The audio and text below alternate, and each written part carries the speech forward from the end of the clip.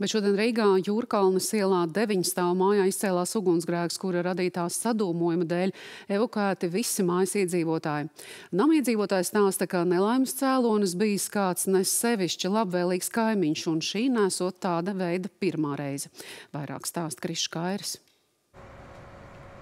Ugunsgrēkā Jūrkalnas ielā šodien ar atklātu liesmu degas atdzīves mantas un mēbeles apmēram 40 kvadrātmetru platībā. Drošības dēļ iedzīvotāji evakuēti ne tikai no nama daļas, kurā ugunsgrēks notika, bet gan no visas ēkas.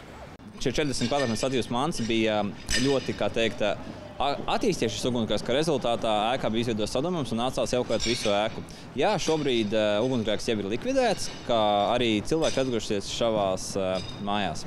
Šodien izsaukumu uz notikumu vietu ugunsdzēsēji un citi glābēji saņēma aptuveni 10.30. Kā redzams, izdegusi liela daļa sastā stāvu, tāpat arī septītais stāvs. Un ir bažas, ka glābšanas darba rezultātā varētu būt cietuši arī zemākie stāvi. Izdegušā dzīvokļa īpašniekam bijis paradums krāt dažādas lietas savā dzīvoklī. Tas šajā gadījumā ļāvis ugunī straujāk izplatīties. Turklāt šī nesot pirmā reize, kad viņš izraisīs ugunsgrēku, stāsta no nama evakuētie iedzīvotāji. 5, 6 vai pat 7 reizes jāizdedzinās to dzīvokli. Viņam ūdens nav, elektrības nav, vāc visādas draņķus, viņš mird visu māju, tarakānu pilns dzīvoklis. Tā kā nezinu, kas tur ir, mēs jau tur neejam ciemos.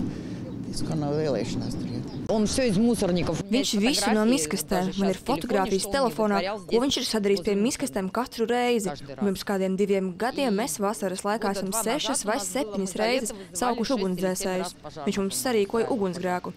Nekādas reakcijas nebija. Negadījumā cietušo nav. Policijas rīcībā esošā informācija liecina, ka ugunsgrēks visticamāk izcēlies personai neuzmanīgi rīkojoties ar uguni.